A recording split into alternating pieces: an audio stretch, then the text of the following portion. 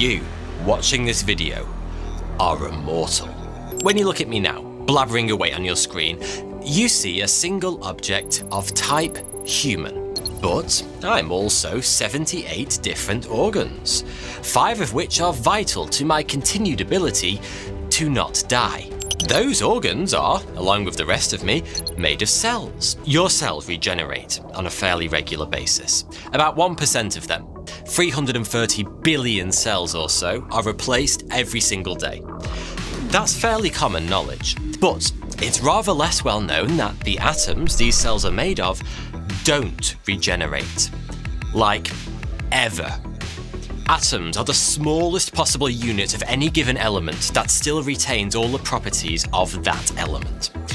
So far as we know, stable atoms, that is, ones that aren't radioactive, pretty much last forever.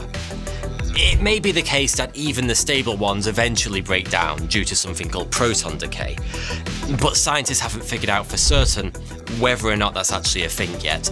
And even if it is, it might take far longer to happen than the entire future lifespan of our universe. So, for all intents and purposes, stable atoms are eternal.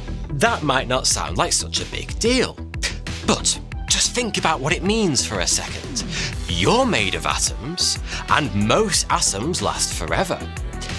In other words, scattered pieces of your body will still be around when the universe finally blinks out of existence, untold trillions of years in the future. Forget the Philosopher's Stone or the Fountain of Youth,